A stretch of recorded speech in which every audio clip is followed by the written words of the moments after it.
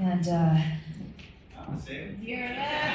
and then I write a record about it, and I go out and I tour behind it, and kind of get it together, and think, man, I'm never going to do that again.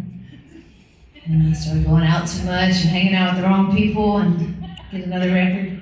Starting to think it might be self-inflicted, but um, this song is about that. Whenever I, I was in one of those cycles, I was uh, out one night, and I thought, you know, sometimes you just need someone. Inspiration for your art. Yes, it is inspiration for my art.